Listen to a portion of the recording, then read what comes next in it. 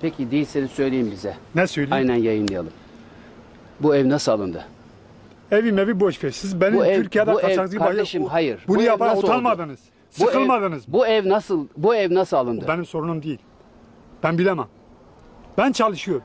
Sizin adınıza gelmiyor muydu? Bu- Bana bak. Bunu parça parça Hadi yapar. parçala bakayım. Hadi parça- bakayım ha- hangimiz hangimizi parçalayacak. Hadi bakayım. Başta seni yap. Bana bak. Vurma. Vururum. He. Ananın, senin, koyarım. Sen, Bu senin eşşoğlu eşek. Eşşoğlu eşek. Ne? Orospu çocuğu. Hadi yürü. Siktir git orospu çocuğu.